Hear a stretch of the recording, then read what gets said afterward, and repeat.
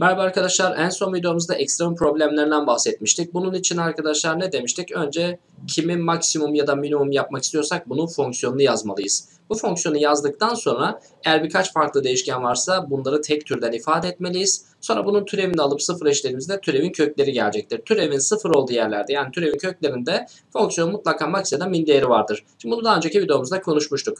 Bugün de bununla ilgili hacim problemleri çözeceğiz. Yani aynı yöntemleri kullanacağız ama bunu hacim soruları üzerinde değerlendireceğiz. Şimdi ilk sorumuzla başlayalım. Şimdi burada çevresi 12 santim olan e, bir dikdörtgenden bahsediyor. O zaman bizim şöyle bir dikdörtgenimiz olsun. Bu dikdörtgende çevre 12 ise eğer karşılıklı kenarlar birbirine eşit olacağı için yarısı 6'dır. Yani bir parça x dediğimizde diğerinde 6 eksi x olacağını çok rahat söyleyebiliriz. Şimdi biz bunu döndürelim. Örneğin mesela şöyle bir kenar etrafında döndürelim. Bunu döndürdüğümüzde böyle bir silindir elde edeceğiz mi arkadaşlar? Evet bakın böyle bir silindirimiz oluştu. Bu silindirin hacmini maksimum ya da minimum yapmak istiyoruz. Bu soruda maksimum yapmak istiyoruz. En fazla diyor çünkü. Dolayısıyla hemen silindir için hacim yazalım. Silindirin hacmi neydi? Pi r kare taban alanı çarpı yükseklikte. Burada tabii ki r dediğimiz şeye x demiş olduk. Yani pi x kare çarpı yüksekliğimizde 6 eksi x. E şimdi burada ne oldu dikkat edin. Şu pi'yi tekrar yazmama gerek yoktu. Evet. E, pi zaten sabit çarpan dursun. Şu x kareyi de içine dağıtmak istiyorum. Türevi daha kolay alacağım çünkü. Buradan 6x kare eksi x küp diyebilir miyim? Şimdi bu bizim neydi? fx fonksiyonumuz. Yani e, maksimum yapmak istediğimiz silindirin hacim fonksiyonu. Bu durumda türevini alacak olursak f türev x. Pi zaten sabit çarpan burada dursun. 12x eksi 3x kare diye ne yapmış olacağız? Türevi bulacağız. Tabii ki bunu sıfır eşleyeceğiz. Bunu sıfır eşlediğimizde pi zaten gidecektir. Her tarafı 3'e böleceğim yine gidecektir. E, ne oldu? Elimizde 4x eksi x kare eşittir 0 kaldı. x parantezini alırsak 4 eksi x eşittir 0. Demek ki x eşittir 0 ya da x eşittir 4 bu türevin kökleriymiş. Hemen tabloyu çiziyoruz. X0 ya da 4 türevin baş katsayısı negatif olduğu için bakın işaretini şuradan vurgulayalım. Baş katsayı negatif olduğu için eksi artı eksi dedik. Azalan, artan ve azalan. Bu şekilde bir ifade oluşturduğumuzda burası bizim için gördüğünüz gibi maksimum değer oldu. Biz zaten silindirin maksimum olmasını istiyorduk. Demek ki x yerine 4 verirsek bu silindirin hacmi maksimum olacak. Silindirin hacim fonksiyonu bu değil miydi arkadaşlar? Hadi burada yerine 4 yazalım. Ne oldu? 4 kere 4 16. 6 ile çarptık 96. Pi çarpı 96 eksi 4'ün küpü 64. Yani buradan 32 pi olarak ne yapmış olduk? Silindirin hacmini maksimum etmiş olduk. Şimdi gelelim ikinci sorumuza. Yarıçapı 3 olan küre içine bu sefer bir küremiz var dışarıda. Bunun içine bir silindir yerleştireceğiz. Şimdi küremiz şöyle bir şey olsun arkadaşlar. Bunun içine bir tane silindir yerleştirelim. Şöyle. Evet. İşimizi görür. Çok güzel olmadı ama. Evet. Bu silindirin arkadaşlar ne yapacağız? Hacmini maksimum yapacağız. Bakın kimin? Silindirin hacmini maksimum yapacağız. O zaman silindir için hacim fonksiyonu yazmalıyız. Kimi maksimum yapacaksak ya da minimum yapacaksak onun hacim fonksiyonu yazmalıyız. Yani silindir hacim fonksiyonu yazılacak. E, silindir hacim fonksiyonu için yarıçapa ve yüksekliğe ihtiyacımız var biliyorsunuz. Şuralara RR diyelim. E, şöyle de kürenin merkezini seçelim. Çünkü kürenin yarıçapı da 3'müş. Bunu da kullanacağız birazdan. Şuralara ben HH dedim. Bakın e, H toplamına da H deyip H bölü 2'lerle de gidebilirdim. İşlemler kolay olsun diye HH diye dedim. Bu durumda silindirin yüksekliğinin de 2H olduğunu unutmamak için şuraya not ediyorum hemen. Çünkü bana silindirin yüksekliği soruluyor. Yani en sonunda ben 2H'ı bulmuş olmalıyım. Silindirin hacmi neydi? Taban alanı pi r kare çarpı yükseklik yani 2h. Bunu bulmamız gerekiyor. Şimdi bunun için bizim yapmamız gereken şey arkadaşlar h ile r arasında bir değişken, şey bir e, dönüşüm sağlamak. E, şuranda zaten r olduğunu bildiğimize göre bir Pisagor yaparsak h kare artı r kare eşittir 9 diyeceğiz. Ne demiştik? Fonksiyonu yazalım. Sonra tek değişken türünden ifade edelim. Sonra türevini alalım. Fonksiyonu yazdık. Şimdi tek değişken türünden ifade edeceğiz. En sonunda bana h sorulduğuna göre r'yi h'a dönüştürmek daha mantıklı. Yani r kare yerine ben 9 eksi h kare yazabilirim. O zaman burada getirip bunu yerine koyarsak pi çarpı r kare yerine 9 eksi h kare yazıyorum. Çarpı burada da 2 h'ımız var. Şimdi şu 2 pi başta dursun. Sabit çarpanlar türevi çok etkilemiyordu biliyorsunuz. Buradan h'ı dağıtınca 9 eksi, e, 9h eksi h küp kaldı mı? Şimdi bunu sıfır eşleyeceğiz. Hadi türevi sıfır eşleyelim. E ne olacak o zaman? Zaten 2 pi sadeleşecek gidecek. Elimizde ne kalacak? h parantezinde 9 eksi h kare kalacak. Eşittir 0. Demek ki h buradan 0, h buradan 3 ya da h buradan eksi 3 olacak. Şimdi 3 tane kök geldiğine göre e, ben h'ı tabii ki ne seçeceğim? 3 seçeceğim. Aslında tablo çizebilirdim nereden maksimin olduğunu araştırmak için ama burada gerek yok. Neden? h 0 olamaz çünkü o zaman silindir oluşmazdı. h eksi 3 olamaz çünkü h bir uzunluk. Demek ki buradan h'ın 3 olacağı çok açık. E bize de 2h soruluyordu. O zaman cevabımız 6 olacaktır. Evet yeni soruya geçelim. Taban yarıçapı 4 santim ve yüksekliği 8 santim olan bir dik koni içine. Bu sefer dik konimiz var. Bunun içine bir şey yerleştireceğiz. Konimiz şöyle olsun. Bunun içine e, bir silindir yerleştireceğiz. Silindirimiz de şöyle olsun hadi. Evet. Bunları kendiniz çizmeniz gerekebilir arkadaşlar. Lütfen boş kağıda çalışın bunları.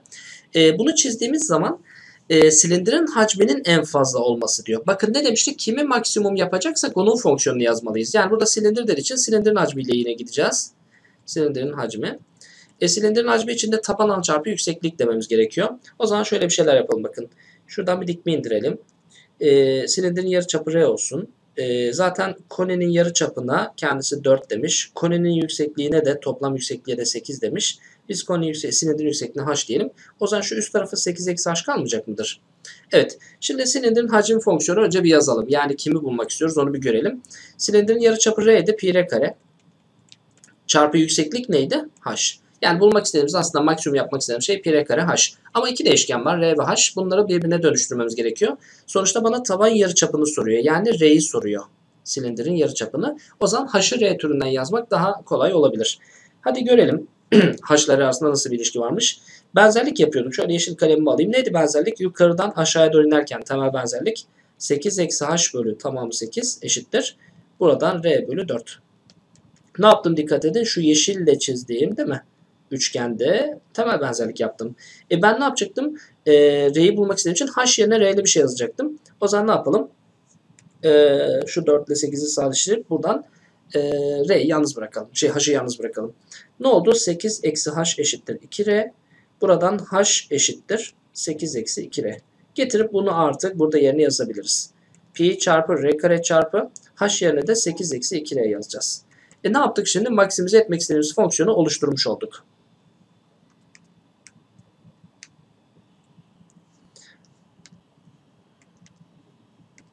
Maksimize etmek istediğimiz fonksiyonu düzenleyelim birazcık arkadaşlar. Pi zaten sabit bir çarpan şurada dursun. 8 r kare eksi 2 r küp. Bunu ne yapacağız tabii ki türevini aldıktan sonra bu bizim f türevimiz artık sıfıra eşleyeceğiz.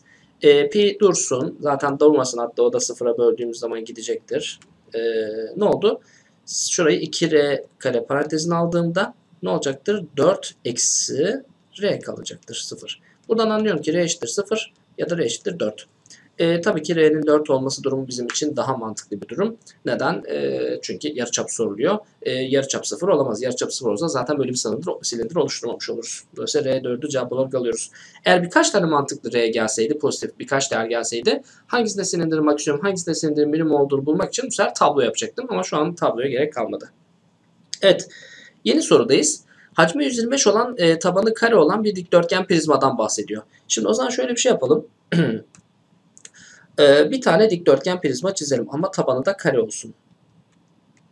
Bakın tabanımız kare. Şuralar x, x, x, x. Şimdi taban kare olduğuna göre e, bunun da yüksekliği vardır. Yüksekliğine y diyelim. Bunun hacminin de 125 olduğunu biliyoruz. Yani hacmi 125 ise eğer x kare taban alanımız değil mi? Çarpı yükseklik. Bize hacmi vermiyor. Taban çarpı yükseklik. x kare çarpı y eşittir 125'miş. Bu dursun. Sonra ne olacakmış? Bu iş için en az kaç santimetre kare kartona ihtiyaç vardır diyor. E şimdi biz bu e, açık e, prizmayı elde etmek için ne yapacağız? Düz bir karton alacağız. Dikdörtgen ya da kare şeklinde her neyse bilemiyorum. Bir karton alacağız. Bunu yanlardan katlayarak ne yapacağız? Üstü açık bir tane hacim elde edeceğiz. Dolayısıyla aslında şu an elde ettiğimiz hacmin yanal alanları ve taban alanı bunun yüzey alanı topladığımızda ne yapmış olacağız? E, daha önce kesip e, silindir, şey, prizma oluşturduğumuz kartonun e, yüzey alanını bulmuş olacağız. O zaman demek ki bir önceki yüzey alanı aslında şu anki prizmamızın yüzey alanına eş. E, buradan bir tane x çarpıya gelecek. Bunlarda bakın yanlarda 4 tane var. O zaman 4 tane x'ye var alan. Bir de taban alan var x kare. Şey, x kare. Bu bizim işte arkadaşlar fx fonksiyonumuz. Ancak burada iki değişken var. Bunları birbirine dönüştürmemiz gerekiyor. E, şuradan dikkat edin. Y'yi yalnız bırakacak olursak 125 bölü x kare diyebiliriz değil mi y'ye? Getir burada yerine yazalım. 4x çarpı 125 bölü x kare artı x kare. Bu bizim e, maksimize edeceğimiz alan. Neden? Çünkü e, hacmi bu olan kare tabanlı kapalı dikdörtgen prizması yapacak. Bu için en az kaç santimetre kare kartona ihtiyaç vardır? Yani minimum yüzey alanı kullanmaya çalışıyoruz. Dolayısıyla bu yüzey alanının yani şu bulduğumuz fonksiyonun minimum olmasını istiyoruz. Onun için onun türevini alıyoruz. Bunun türevini alınca da şunlar götürecektir. Buradan 500 bölü x artı x kare eşittir fx oldu mu? Şimdi burada türev alalım artık. Türev alırsak birincinin türevi burada bölüm türevi yapacağız tabii ki. Birincinin türevi 0 çarpı ikinci yok oldu. Eksi ikincinin türevi 1 çarpı 500. Sonra paydanın karesi. Artı burada da ne var? 2x var. Türev aldığımız zaman eşittir fx olmuş oldu. E burada ne yapacağız? Birazcık eşitleme yapacağız. Ee, taban eşitlersek ya da işte bunu direkt sıfıra eşitlersek ne yapacağız buradan? Şu eksili ifadeyi karşı atmış olacağım. Yani 500 bölü x kare sola geçti. Karşı tarafta da 2x kaldı. Buradan 500 eşittir ne olmuş oldu? 2x küp. Yani x küp buradan ne oldu arkadaşlar? 250. Demek ki x'in 250 olduğu, küp kök 250 olduğu durumda bu hacim maksimum oluyormuş. E, bunu getirip f fonksiyonunda yerine yazarsak cevabı bulmuş oluruz. Şimdi gelelim e, son sorumuza. Yarıçapı kök 2 santim olan bir küreyi diyor içine alabilen en küçük hacimli dönel koninin yüksekliği nedir? Ha, bu sefer şimdi bir küre var elimizde. Bu küre koninin içine sığmış. Şimdi şöyle bir tane küremiz olsun. Pardon konimiz olsun. Bu koninin içine bir tane küre çizeceğim. Çok güzel olmadı. Bir daha çizelim. Bir tane bunun içinde küre çizeceğiz. Evet birazcık daha iyi. Şimdi bunların bir kere e, ikisi de düzgün şekiller olduğu için değil mi? Yükseklikleri ve çapları ortaktır. Dolayısıyla burada yarıçapı 2 olan bir küreden bahsediyoruz. O zaman şuraya 2 2 değil mi? Yarıçapı 2 olan bir küre bu. E, koninin yarıçapını vermiş mi? Hayır. E, koni yüksekliğini vermiş mi? Hayır. O zaman koninin yüksekliğine h diyelim. Koni yarıçapına r diyelim. Şurası zaten Pisagor yapacak olursak burada h kare eksi 4 yapacaktır şu kenarda. Şimdi ben kimi maksimum yapmak istiyorum? En küçük hacimli dönel koni. Yani koninin hacmini yazmak istiyorum. Bunu ne yapacağız? En küçük yapacağız. O zaman onun türevini alacağız. Bunun e, hacmi neydi? Taban alanı çarpı yükseklik bölü şu. Taban alanı pi çarpı r kare çarpı yüksekliğimiz burada h artı 2 olmuş oldu. Bölü 3. Evet burada gördüğünüz gibi yine iki değişken var h ve r. Bunları bir arada yani bir türden ifade etmemiz gerekiyor. O zaman ne yapacağız? h yerine r ya da r yerine h yazacağız. Bize ne soruluyor? Koninin yüksekliği soruluyor. E koninin yüksekliği zaten h artı 2 değil mi? O zaman h artı 2 bulmak istiyorsak r yerine h'li bir şeyler yazmam gerekiyor. O zaman r ile h arasında bir ilişki bulmak için de benzerlik kullanacağım. Bakın şuraya çizgi dersem 90 çizgi nokta 90 çizgi burası da nokta. O zaman burada bir benzerlik yapacağız. Taralı üçgenle büyük üçgen arasında. Bakın burada çizginin karşısında 2 var. Büyükte çizginin karşısında R var. Eşittir. E, noktanın karşısında kök içerisinde h kare eksi 4 var. Burada noktanın karşısında h artı 2 var.